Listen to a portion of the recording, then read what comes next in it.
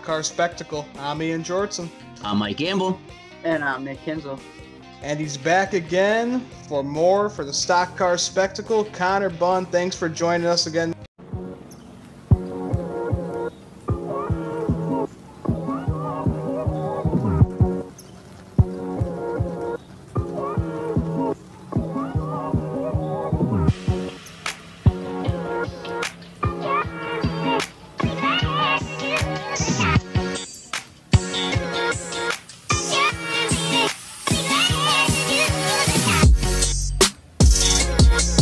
Been a while since you've been on the show. Yeah, I appreciate you guys having me on. It's it's definitely been a minute since I've come on, but uh, I'm ready to knock the rust off and get back at it. All, All right, right, man. All right. So we usually have our diecast of the week. So Connor, what did you bring for us this week? Uh, in honor of this guy's hot dead last finish last night, um, I'm gonna break out because I, I, feel like a win is coming up soon, despite how bad and poor his luck has been. Brought out his 2017, um, or excuse me, 2018 Pocono win diecast. Still got the uh, still got the little like tire clippings and and candy and, and stuff on it. So this is my only race win diecast. So we're gonna bring out the caramel M&M scheme for Dalton. That's a good one to have, man. That's a really damn good looking scheme. Yeah, I was I was always very hype on uh, on the caramel scheme for some reason. I thought just that base, uh, like purplish blue with all the all the M and M's on it looked really good. So and yeah. the fact he, he ran really well in that scheme. Yeah, too. he won a lot with that paint scheme. Oh yeah, oh yeah. Well, I just like how it's something different too. He's got so many of his schemes are based off uh, the the that the yellow that he'll normally run. And then you get the the caramel, which gives you like that bluish purple. It's just a, a different look and typical with Kyle Busch's paint schemes are always on point. Yeah, I was thinking the other day. I was like, hmm, like what are we gonna see from from Mars and stuff now? Like, I mean, they've pretty much run every color and you know, to be honest with you, you know how his main paint scheme is like a base yellow and it's got the M and M's on it. I kind of want to see them run like a like a light brown, like like the brown M and m bag, and then have like the M and M's on it, and just see what that looks like. Because uh, he's never really had like a brown M and m uh, base colored car, so uh, it'd be cool to see what that looks like. But his Halloween schemes are always my favorite too. So oh, yeah, those really kick ass. Yeah. Oh yeah, no doubt. All right, Nick, what'd you bring for us today for the diecast of the week? All right, well, last week I almost made the mistake of bringing this one on because I thought last week was Michigan weekend, but this week is Michigan race weekend. So I brought out the the crown jewel of my diecast collection. This is the 2011 uh, Trevor Bayne JDRF uh, paint scheme, and this one is so rare. Uh, it was a hard. I didn't even find it. I would see on eBay for like over a hundred bucks. So my dad was able to find it. He got it from me. Uh, he started 20th in the race, finished 23rd. Not his best run, but yeah, this this thing is rare to come by because he only ran this scheme. Uh, so definitely the crown jewel in my diecast collection. All right, man. All right. I was definitely gonna hope Ian picked me, and I was gonna run to my cabinet and play that first, just to snake Nick, since he was so excited last week to play it. Well, first time on the show, so I would have I would have killed you. Yeah, there, there have been many nights where Nick's over at my place, like man, before he got that one, man, what do I gotta do to get that one off you? What do I gotta do to get that Trevor car off you? it's like the one that I needed, man, and now that I have it, it's just like, whew, all right. Yeah, that would that was your holy grail car for the T Bayne collection, no doubt about it. Absolutely.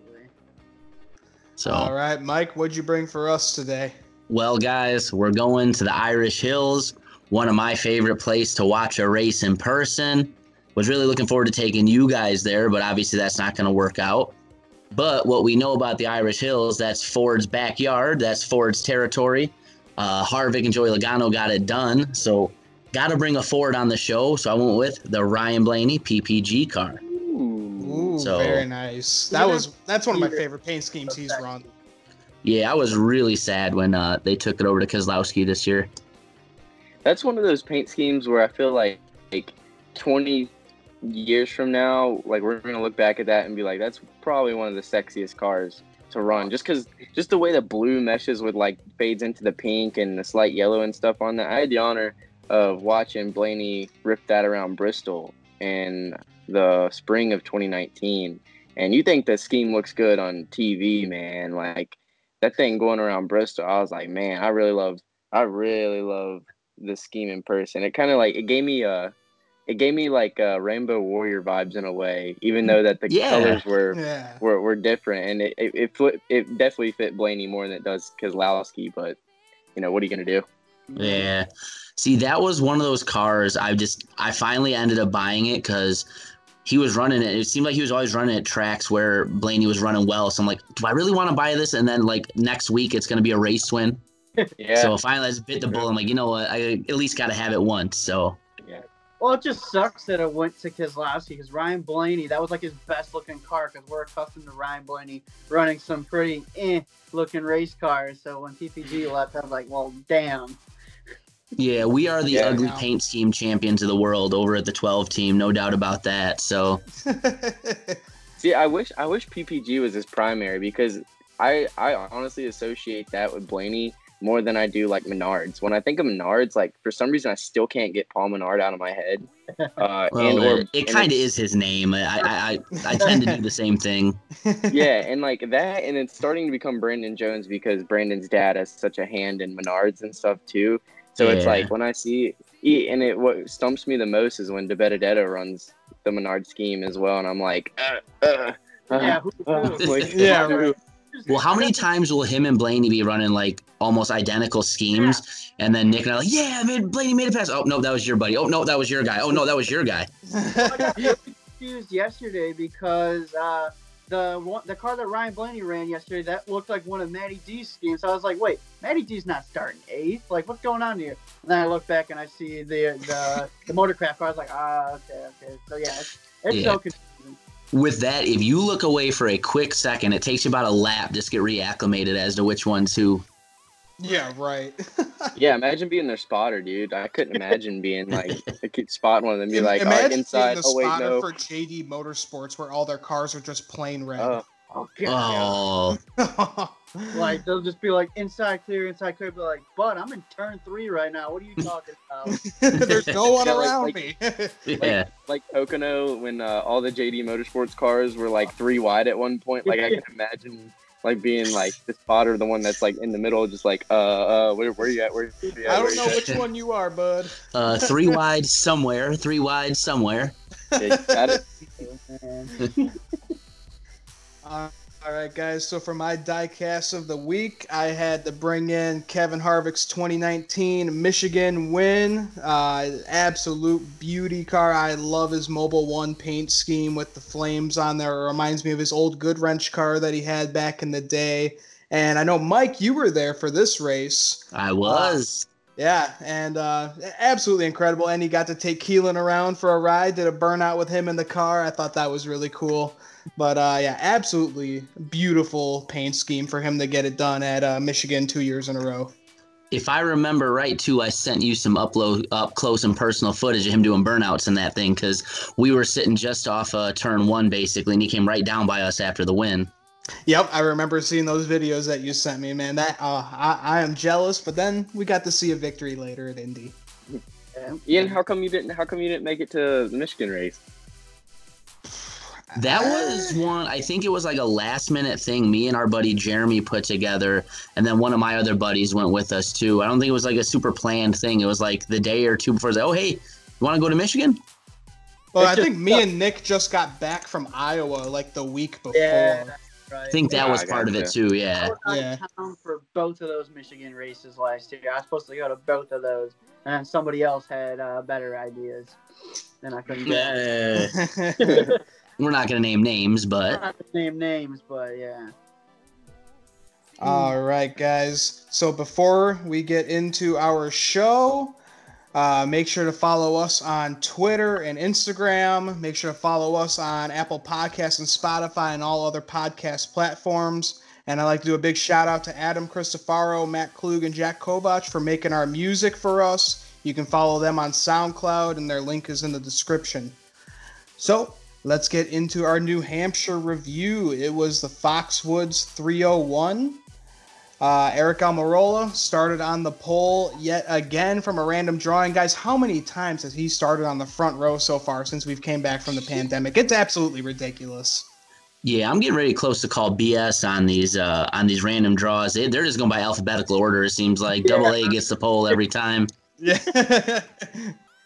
I, I will be definitely interested to see like at the end of the season looking at Aric Almirola's like average starting to like position at the end of the year and see where it matches up compared to other drivers because this is absolutely ridiculous how he ends up in the top three every single week so the, far, the luck of the draw.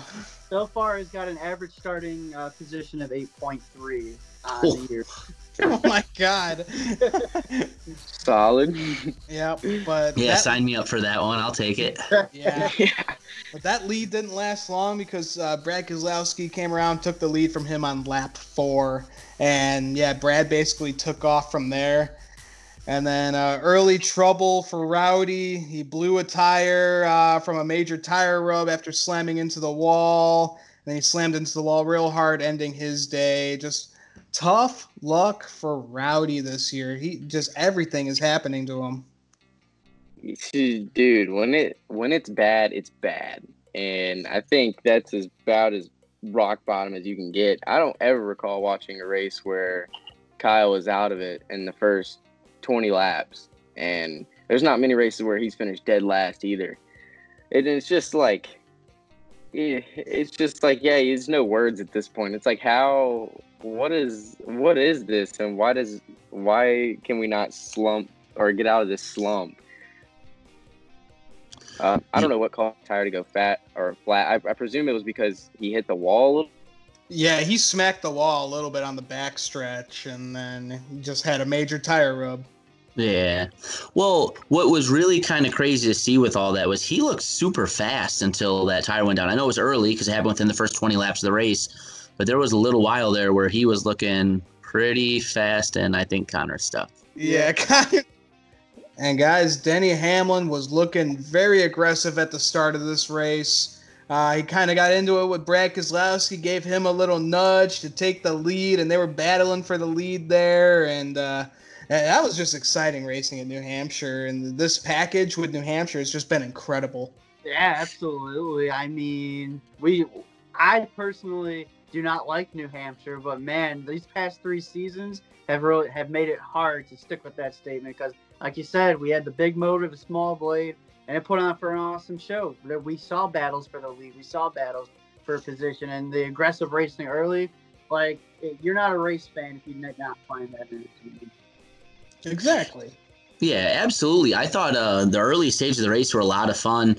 Uh, Blaney was up there with Keselowski and Denny battling, and uh, you were we were having conversations about whether teammates were going to have to move each other early in a race, and that was just a lot of fun. A lot of good battles going on there. Guys just kind of just nudging each other up the track, taking different lines through the turns too. Um, just really fun racing there. I, I thought uh, the first first stage was exceptional when it comes to entertainment value.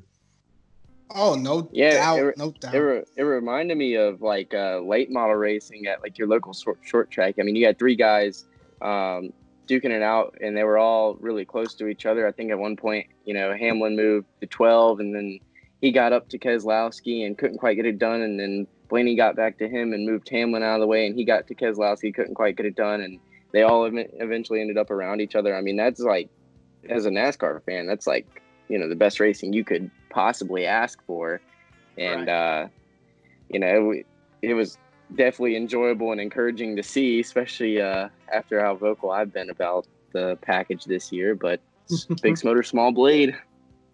yeah, you gotta love it. You gotta love it. And then, guys, we had more bad luck for Jimmie Johnson. He gets loose after contact with Bowyer out of turn two. Johnson goes for a spin says, How much more bad luck is this guy going to go through in his final full time year? Actually, he kind of hinted at coming back next year because Blake Shelton kind of begged him on Twitter. yeah, let's see how true that is. But no, it just looked like Bowyer spotter didn't know that Johnson was there, and just like Bowyer just came down and outdoored him. And Well, I mean, Johnson was already running on the apron, Yeah, like, what- what- where more do you want him to that's go? He's that's the lane that Johnson chose. So Bowyer was just gonna stick where he was. Not Bowyer's problem. Bad luck, Johnson. Recipe for disaster right there. What you gonna do, man? Yeah. Yeah, it would be interesting to see what happens with him for next year. Kind of like you uh, you hinted at, Ian. Um, based on tweets from Jimmie, it looks a lot like he may run in some capacity next year. I doubt it'll be a full season. He was kind of hinting at maybe like a like a partial season thing. So that'd be nice. You know, there are a lot of racetracks this year that we're not going to get to see uh, Jimmie at with uh, the no fans with the current pandemic. I think uh, it'd be a really nice little touch for him to come back and run about half a season or so you know, kind of get to some of those tracks where people aren't going to get to see him otherwise.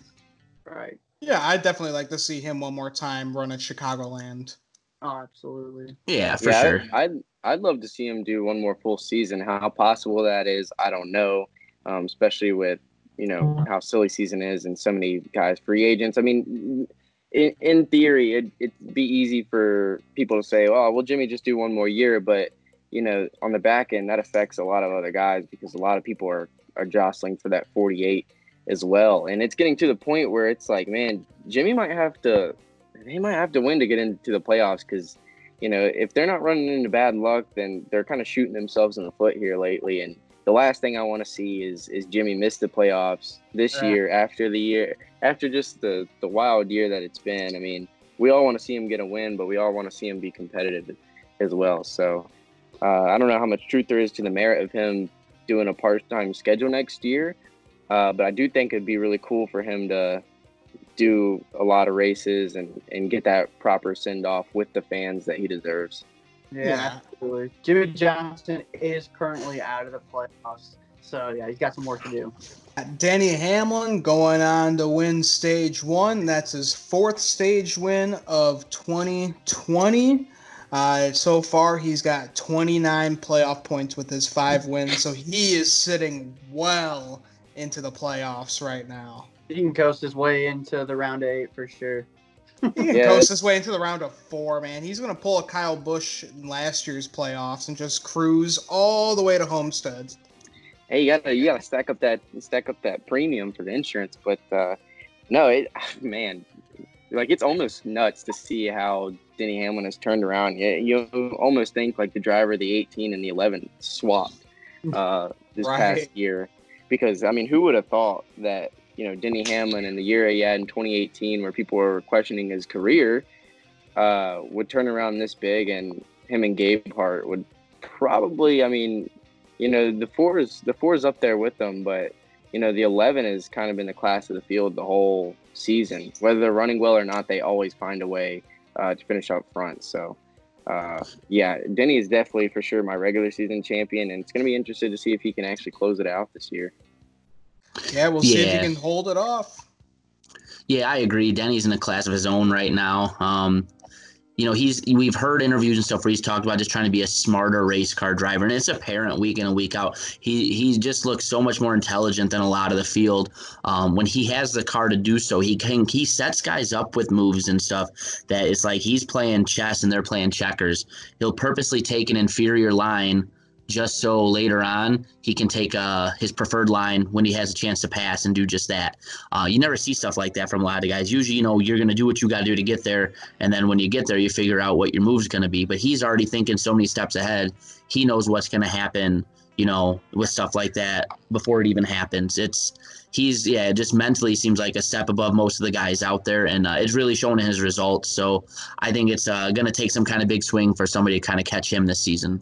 Yeah, it's just crazy because, like we were talking about, 2018, everybody's like, "Oh, get this guy out of Joe Gibbs racing. His career's over with." 2019 goes out and wins seven races, and now here in 2020, he's got five already. So he's stepped up because usually you think Denny Hamlin has one good year, and then the next year he's going to run really poorly, but that just hasn't been it. So yeah, he's definitely the class of the field right now, and I expect him to just keep getting better and better as the season goes on.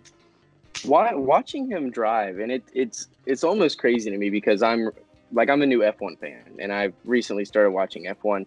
but watching him drive and like his smarts behind the wheel and the way he uses his mind is almost F1 driver like, and how strategic he Mhm. is about everything he does behind the wheel.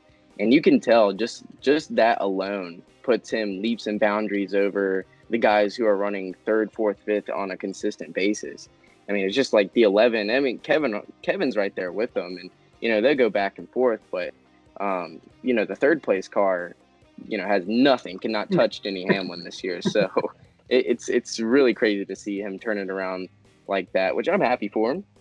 You know, per se, yeah, it sucks that it's at Kyle's mercy and and stuff, but you know, good for Denny. Hey man, he's winning me a lot of money this year. That's for sure. yeah, that's Yeah. for sure. No kidding. My goodness. Yep. But then we had a caution on lap 93. We heard about it all day, but rain finally came to the racetrack. But thank God it was only a tiny little sprinkle. There was no red flag. They were able to stay yellow, and then they went back to racing. Harvick took the lead because uh, he didn't take any tires with those pit stops. But then Hamlin eventually took that lead on lap 104. And then Keselowski came back up to Hamlin. They were battling for the lead, and he took the lead away from Hamlin. And then we had a caution with seven to go in stage two. Matt Kenseth got loose exiting turn two, made slight contact with Kurt Busch. He spun. He was able to, uh, to save it, staying off of the inside wall. But that's not the end of it for Matt Kenseth. We'll get into that in a little bit. Then we had more Keselowski and Hamlin drama. They were battling for the stage win. Keselowski wins stage two. So good for Keselowski to get that stage win right there. Absolutely. Yeah, it was a fun little battle there at the end. Absolutely. Gave me uh gave me 2019 vibes at the end of the race with him and Kevin. Yeah, Uh, no You almost, kidding. you almost wish you could have seen that at, at the end of the third stage, but man, that was like it was like a flashback of last year all over again. Especially the outcome too, because Denny still didn't still didn't get the stage win. He didn't get the win last year, but uh, Right. it was definitely 2019 vibes. Oh, yeah, that little that first stage or so was almost like a little microcosm of the the whole 2019 race in a lot of ways. Yeah, Yeah, basically. And then we had more trouble for Matt Kenseth. Caution on lap 196. Matt Kenseth got into the wall after blowing his right front tire from damage from the previous wreck that he had. And then another caution for Matt Kenseth on lap 204 for another flat right tire, and he Hey, hit you the think wall had again. fun? Do you think he had fun at New Hampshire yesterday? I think he had a great time. Man, I just I, he should have never picked up the phone when CGR called him. Man, don't pick up that phone, man. Oh, yeah, maybe man. you know maybe the third time would be a charm because the phone rang with Jack Roush called him in, in 2018. Oh. He picked that up, and that didn't that didn't go so hot. Phone rang this year, and you know it's not going so hot. So maybe maybe he'll know for for next time when somebody needs a replacement. But no, I mean, oh man, uh, Who would have Kenseth, it thought, just- man? yeah, especially I mean he came out strong, got a first top ten in his first race, and people are like, "Oh man, Kenseth is a playoff lock. He's back." But it's almost like every week you expect him to be the caution and stuff. So, you know, bad luck Kenseth. Uh, he's right up there with Johnson, who just has like weird luck, and like just to see them both run bad, it's like, what is this? Yeah, it's very strange to see. Yeah, we are uh, we are not in the 2010s anymore, boys, where those two will be up there battling for race wins and championships every time you turn around. Times It are a whole new era.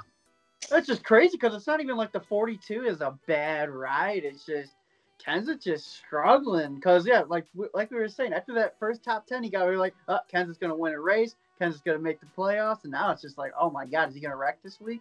It's crazy. He should have just retired 2017. That should have been it. His final win. Phoenix, he went out on top basically. But then he had to go back to the six. Now he has to go back to the 42. And it's all just been poor what, guy. Oh my what, god. what rides? What rides next? To be honest with you, like, Yeah, where's he? gonna What's going to be the next ride that he takes over? Whoever, you know, gets taken out or gets in some kind of trouble again, we'll see. But my god, I don't know. Just don't pick up the phone, Matt. Just stay home. It's not working out for you. seven years seven years from now, Hailie Deegan's gonna be on maternity leave, and they're gonna call they're gonna call in Matt Kenseth, and Kenseth's gonna come in there at like late fifties, early sixties, Yeah. and try and run. 55 year old Kenseth's gonna step in the race car, Mark Martin that. The true super sub. yeah. and then late in the race, we didn't know if most of the competitors would have enough gas to make it all the way to finish the race. We thought Keselowski and a lot of the top leaders weren't going to make it, and Kevin Harvick would get the win. But Keselowski proved us wrong. He held on to get his third win of 2020. Another dominating race by Brad Keselowski, guys. So, any thoughts on that win with Brad Keselowski? No, it, great to see Brad run well. Um, and then obviously the news we get later today that he's going to re-sign with Penske is great to see as well.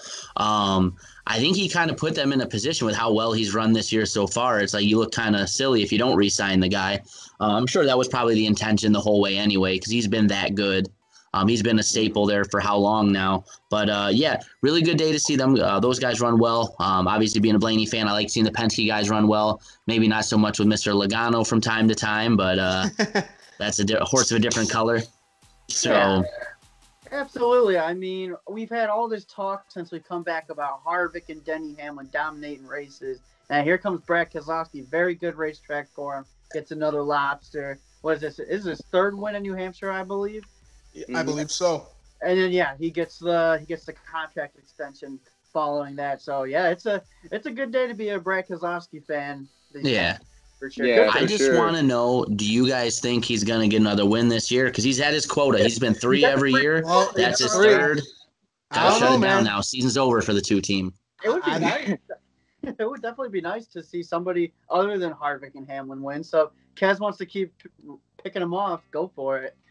But, yeah, I was just thinking about that. I was just thinking about that today. How you know, I was like, well, cause that's Kez's third win, so you know, he technically he's peaked. You know, usually falls off, but you know, he does. He's he's got he's got Bullins on the box now, and not Paul Wolfe. So I think that's a that's something to factor into it. And I think they've something about Brad this year. He's he's looked a little more, more consistent than in years past too, when he gets like three wins. So I would not be surprised to see him rip off a couple more wins. Um, he could, hey, he could even make the final four. To be honest with you, I mean that team. There's no telling the momentum they might carry into the playoffs. So, and Brad's grown on me, so I don't, I don't mind seeing, I don't mind seeing Brad uh, get a victory every now and then. Yeah, yeah, it's hey, it's possible. And uh, he finally cr- uh, crossed off another uh, paint scheme from his cursed paint scheme list. He never won with that patriotic Miller Lite scheme. He did that in the Coke 600. He's never won with his Alliance truck parts paint scheme either, so he finally did that too. So uh, that's good to see him uh, showing love for all of his sponsors. Oh yeah. Always good for the wallet. exactly. Exactly. All right, guys. So I think that will do it for our show. Thanks for tuning in. Connor, thanks again for joining us, man. Guys, make sure to follow Connor on Twitter and Instagram. And I believe you're starting up your podcast again. It's not going to be for the lead now, right?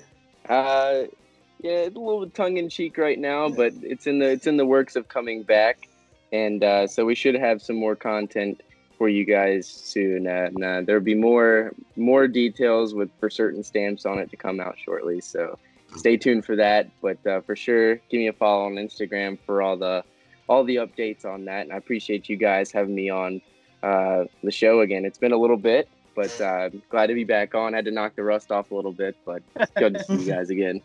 Yeah, buddy. We always love having you on. Appreciate and, it. And guys, make sure to follow me, Nick, and Mike on Twitter and Instagram as well, along with the Stock Car Spectacle social media accounts. Uh, if you're listening to us, make sure to subscribe to our YouTube channel for more content. And if you're watching us, make sure to check us out on Apple Podcasts, Spotify, and all other podcast platforms.